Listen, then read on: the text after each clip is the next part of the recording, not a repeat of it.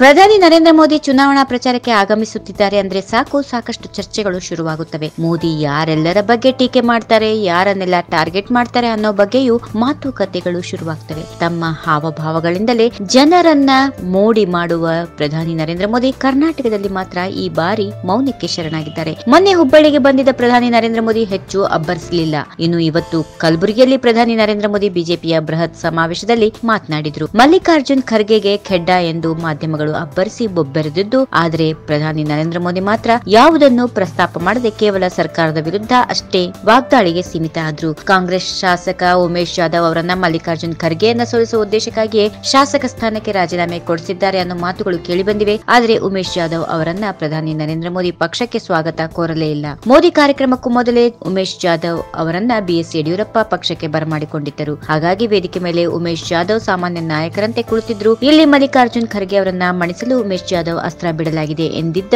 ರಾಜ್ಯ ಬಿಜೆಪಿಗೆ ಮೋದಿ ಶಾಕ್ ಕೊಟ್ಟರು ಮಲ್ಲಿಕಾರ್ಜುನ್ ಖರ್ಗೆ ಅವರ ಬಗ್ಗೆ ಒಂದೇ ಒಂದು ಹೇಳಿಕೆ ನೀಡಲಿಲ್ಲ. ಉಮೇಶ್ ಜಾಧವ್ ಸೇರ್ಪಡೆ ಬಗ್ಗೆ ಸೊಲ್ಲೆತ್ತಲಿಲ್ಲ. ಕಳೆದ ತಿಂಗಳು ಹುಬ್ಬಳ್ಳಿಯಲ್ಲಿ ಚುನಾವಣಾ ಸಮಾವೇಶ ನಡೆದಾಗ ಆಪರೇಷನ್ ಕಮಲ ಮಾಡಲು ಹೋಗಿದ್ದ ಬಿಜೆಪಿ ರಾಜ್ಯಾಧ್ಯಕ್ಷ ಬಿಎಸ್ ಯಡಿಯೂರಪ್ಪ, ಜೆಡಿಎಸ್ ಶಾಸಕ ನಾಗನಗೌಡ, ಕಂಕನೂರು ಅವರ ಮಗ ಶರಣಗೌಡ ಅವರನ್ನ ಕರೆದು ಅಮಿತ್ ಒಡ್ಡಿದ ಆಡಿಯೋ ರಿಲೀಸ್ ಆಗಿತ್ತು.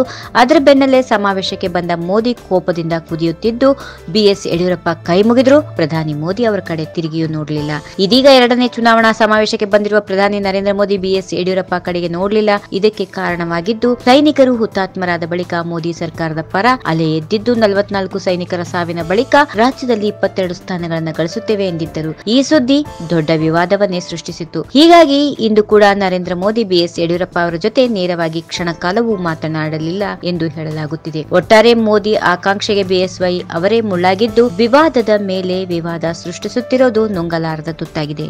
ಈ ವಿಡಿಯೋ ನಿಮಗೆ ಇಷ್ಟವಾದಲ್ಲಿ ಲೈಕ್ ಮಾಡಿ ಶೇರ್ ಮಾಡಿ ಸಬ್ಸ್ಕ್ರೈಬ್ ಮಾಡಿ.